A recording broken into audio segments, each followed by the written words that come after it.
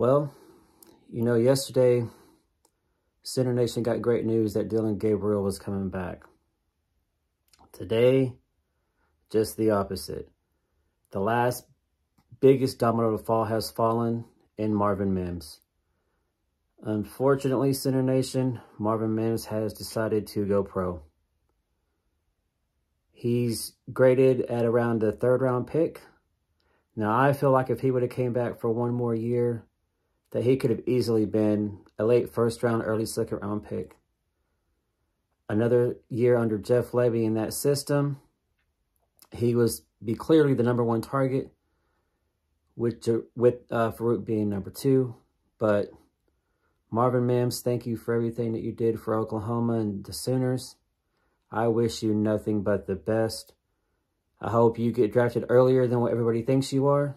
And I hope you go out and have a great career and one day become an NFL Hall of Famer. So Marvin, thanks again for everything that you've done. Wish you nothing but the best in your future. All right, I'll see you guys in the next one. Boomer.